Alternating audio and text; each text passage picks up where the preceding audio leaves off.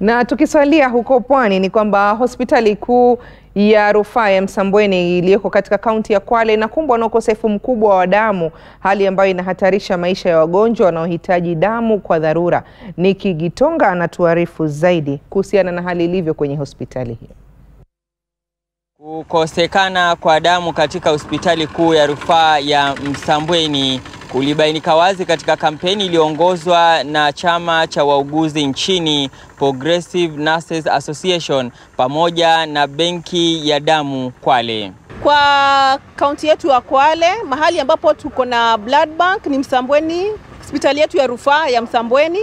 Lakini kwa wakati huu kile kiwango ambacho tuko nacho cha damu ni kidogo kabisa, kiwango ambacho kinatumika na wagonjwa kwa sasa. Kama leo tukipata damu leo, kuna wagonjwa ambao wanasubiria ile damu na ikienda itatumika mpaka unapata kama kesho ama wiki ijayo hakuna damu. Kulingana na Triza Irere ambaye ni muuguzi pamoja na katibu wa kitaifa wa chama cha wauguzi nchini, yani Progressive Nurses Association, asilimia tisini ya wanawake wanaojifungua na kuaga hutokana na ukosefu wa damu. Wale wanawake wote ambao wanafariki wakati wa kujifungua ama baada ya kujifungua ni kwa sababu ya upungufu wa damu, wanaovuja zaidi, na kwa wakati mwingine hatuna damu za kuongeza wale wanawake. Kwa hivyo tunaona ni vifo ambavyo vinaweza kuepukika iwapo tu tunaweza kuwa tuna damu ambayo inatosha katika mahabara zetu. Himizo likitolewa kwa wakazi wa Kwale kujitokeza kwa wingi ili kutoa damu kwa minajili ya kuokoa maisha ya watu wanaohitaji damu wakati wa dharura. Nahimiza wengine zinaoja watoe damu because you never know about tomorrow. Labda kesho utakopea mmoja wao ambao atajidamu damu kutoka kwa wengine, so naomba kila mmoja ajitokeze aje atoe damu kwa wingi tukokoe maisha.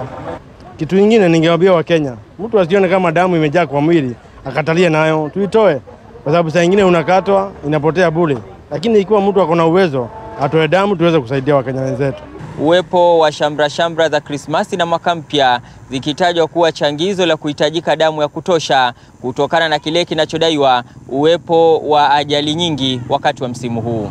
Tunajua tuko katika msimu wa sikukuu, msimu ambapo wakati mwingine kunatokea ajali nyingi nyingi ambazo mara nyingi tunapata wagonjwa wanaohitaji damu, na kwa kawaida ile damu ambayo tuko nayo katika blood bank huwa haitoshi.